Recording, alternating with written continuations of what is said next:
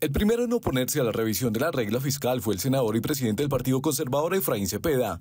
¿Cómo así que mover la regla fiscal? Eso lo que genera son más alto costo de los intereses, resta la inversión, nos rebaja las calificaciones.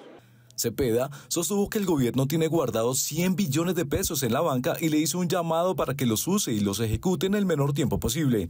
Esos 100 billones están en los bancos, ahí tienen la plata, no necesitan mover la regla fiscal, a los ministros que la muevan.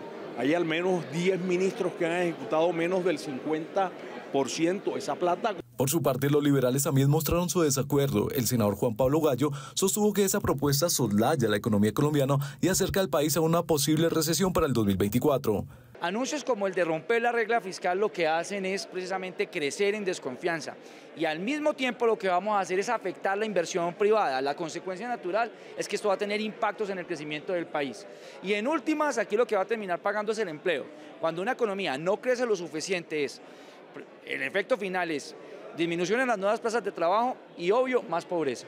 La regla fiscal la aprobó el Congreso en el 2011 y según el senador Alejandro Carlos Chacón, el gobierno debe guardar mesura más cuando se trata de temas económicos y la regla fiscal fue un control precisamente para el propio Congreso de la República y para los propios gobiernos para que no hagan locuras con el presupuesto general de la Nación, para que no entreguen vigencias a 30, 40 años, sino gobiernen por sus cuatro años, que haya una vigilancia eh, especialmente de las inversiones a mediano plazo, que no se pasen más allá de sus plazos gubernamentales, porque aquí los gobiernos no son de 20 años, son de cuatro años de periodo. Según el DANE, la economía colombiana se contrajo un 0,3% en el último trimestre, situación que reconocen sectores de gobierno al tiempo que piden revisar los malos fallos que le han hecho perder al país 6 billones de pesos. Acaba de salir un fallo en el cual pues las regalías contra otro fallo que decía lo contrario, las regalías se descuentan de los impuestos. Quiere decir que no nos pagan regalías. Es el único país del mundo